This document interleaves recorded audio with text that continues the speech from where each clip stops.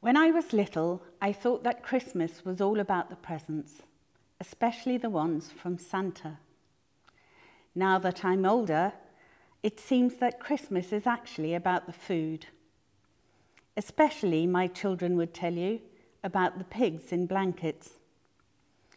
Christmas dinner is a big deal in our house.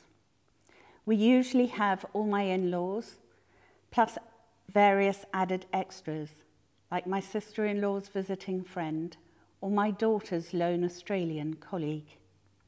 It's quite a lot of work.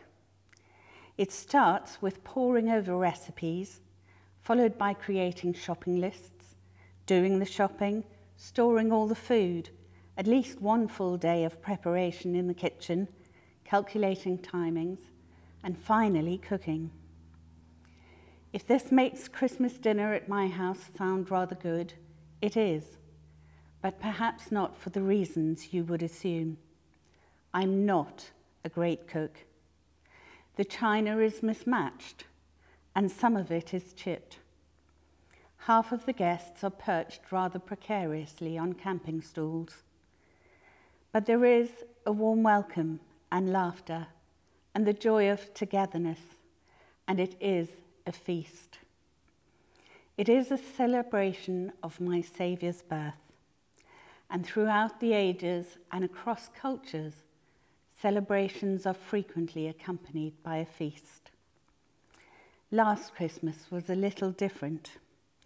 My mother-in-law, who is quite vulnerable, was too anxious about COVID to join us. My youngest daughter suddenly found herself under Tier 4 restrictions and was unable to travel home and I got pinged on Christmas morning and told to self-isolate. After all the plans and preparation, it was a disappointment. This year, we hope it will be different, but that is by no means certain. And yet, even when my plans go awry, the blessing of Christmas remains. The baby Jesus, born in humble circumstances to unassuming parents, is still the Saviour of the world. The hope of peace on earth is still God's promise to us. The reality of Emmanuel, God is with us, is still the truth. When the promised Messiah arrived, not with military might to overthrow the oppressor, but in a manger, in a stable. There were those who thought God's plans had gone awry. There were those who were disappointed. They imagined a Messiah who would save one nation, Israel. But God's idea was so much bigger than that.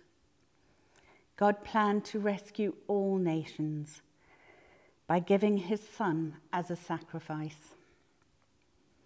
Christmas is, as the angels told us, good news for all men.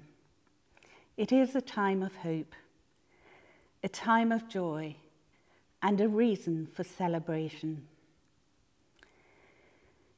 I wish you all a Merry Christmas, whether you can celebrate in the way you would like or not.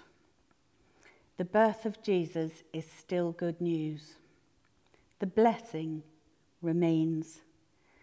So while Christmas may not be all about the food, it is all about the feast.